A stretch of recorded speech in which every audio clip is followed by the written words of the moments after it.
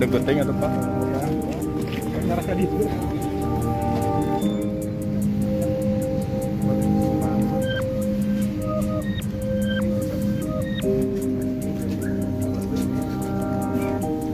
Ini Oma berkaitan dengan ini apa yang dilakukan oleh eh, tersangka PA Polresta Bandung.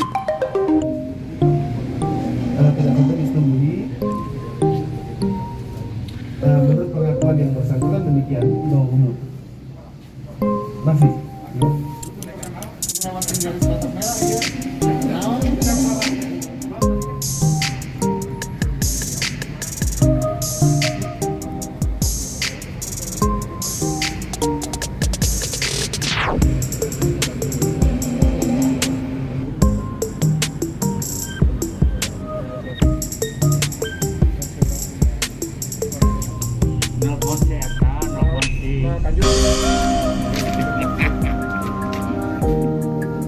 Pagi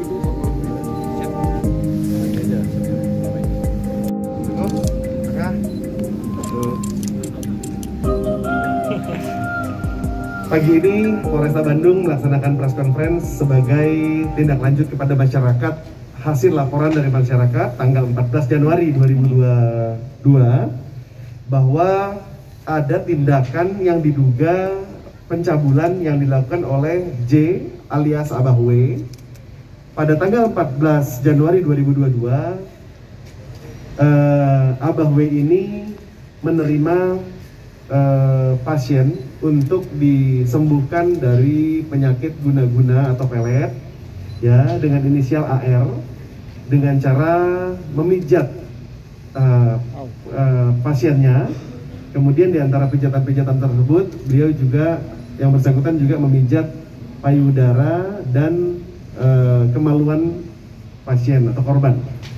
Pada saat setelah selesai melakukan pijatan kepada korban AR, kemudian tersangka juga mendengar ada suara tangisan dari luar eh, ruang prakteknya.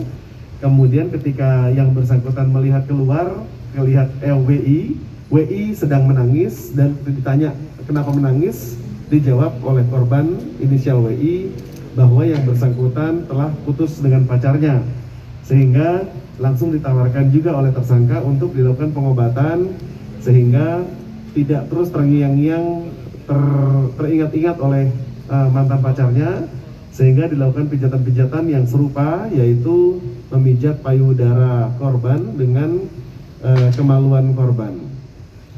Uh, dengan itu uh, keluarga daripada korban saudara A itu melakukan pelaporan kepada Polresta Bandung dan ditindak, ditindaklanjuti oleh Polresta Bandung dengan cara melakukan pemeriksaan kepada para saksi, kemudian melakukan visum et repertum kepada korban, kemudian melakukan penyitaan terkait dengan eh, pakaian-pakaian korban pada saat dilakukan pijatan eh, oleh tersangka, kemudian eh, penyidik melakukan penangkapan dan penahanan serta pemeriksaan kepada tersangka dan melakukan pemberkasan hingga lengkap dan segera ditindaklanjuti untuk dikirim ke kejaksaan. lokasi pencabulannya di mana? Eh, lokasi pencabutannya di Kecamatan Dayakolot dan atas perbuatannya tersangka dikenakan pasal 82 Undang-Undang Perlindungan Anak dengan ancaman hukuman maksimal 15 tahun penjara dan paling singkat 3 tahun penjara dan eh, dan denda senilai 300 juta rupiah. Ini korban ada berapa orang, Pak? Sejauh ini korban ada dua, inisial AR dengan WI. Namun demikian kita tidak terpatok kepada dua korban saja, sehingga apabila ada warga masyarakat yang juga mengalami kejadian yang serupa menjadi korban daripada tindakan pencabulan yang dilakukan oleh eh, inisial J alias Abah W, ini silakan melapor ke Polres untuk kita bisa lengkapi berkas perkara dengan eh, korban-korban yang juga mengalami kerugian yang sama seperti eh, korban AR maupun korban WI. Bisa dibilang dukun cabul ya. Ya bisa dibilang demikian. Kan korban selama apa? Berkaitan dengan ini apa yang dilakukan oleh eh, tersangka PA Polresta Bandung. Eh, tidak sampai disetujui dan dari hasil demikian masih.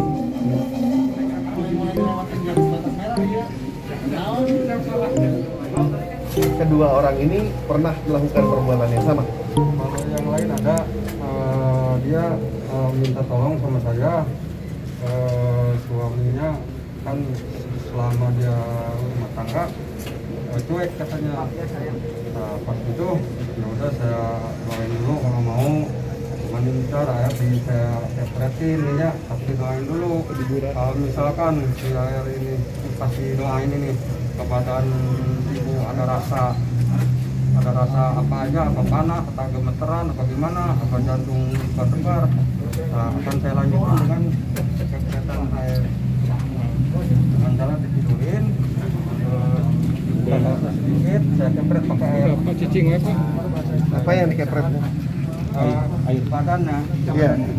Badan badan bagian mana yang dikepret pakai air? semua seluruh dari Itu dibuka, kaosnya dibuka. Hmm. Sampai di sampai dipijat juga payudaranya segala. Pak, dukun udah lama Pak.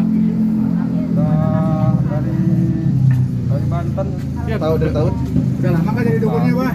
Lama. berapa tahun? Saya udah 6 tahun.